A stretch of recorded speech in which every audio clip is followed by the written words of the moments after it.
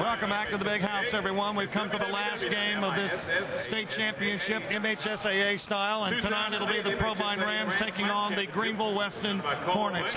This one far from over. Hornets take the inbound pass and they push it up. Akeem Richardson, shot for three on the way. Got it!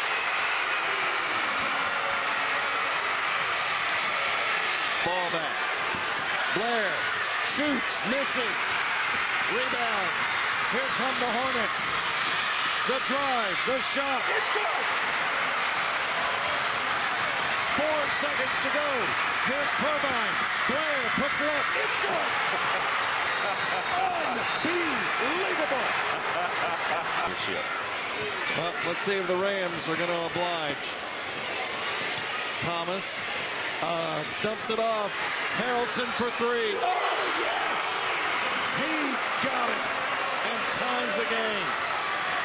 72 72. And they toss it to him. Seven seconds to go. Four seconds to go. Wide go. open. Wide, Wide open, open. shot. No. And we go to a second overtime. Six seconds to go. And they'll swing it over. Shot for three on the way. That's it. Ball game over. And the Rams are going to take it home. And that will put a wrap on uh,